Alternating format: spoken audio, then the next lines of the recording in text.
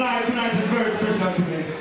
As you know, I love the here, as I said earlier. So because of that occasion and that's the reason, I give a brand new song. It have been heard before, it's not even halted.